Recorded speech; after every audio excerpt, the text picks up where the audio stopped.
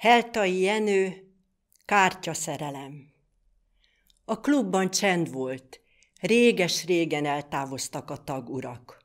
Poentőr, pincér, bankár, rég otthon aludták álmukat. Ablak nyitva, szék a széken, pohár, hamu a szék alatt. Csupán a kártyaasztal szélen feküdt két pakli kártya szépen, mely véletlenül ott maradt. Az egyik pakli tetejében a Káró királyné feküdt, a másikon a Pik fiú volt, és mondom, csend volt mindenütt. De május is volt, és ez a lényeg. Májusban így van rendesen. A Pik fiú és a Káró dáma összenevettek csendesen. Maseri imádom, szólt az ifjú, a szívem öné, higgye el. ő, felelt a károdáma. Bevallom, ön is érdekel.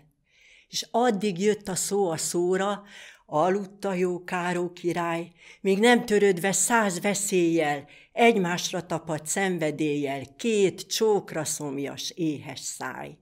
És csókra csók jött, és újra csókok, oly szépen indult a regény, a pikfiú halkan súgta, ó, károdáma, légy enyém! Felzokog a károdáma, minden hiába, nem lehet, bár bennem is a vágy viharzik, de hát az a gaz pihatnyik, csak félig festett engemet. Thank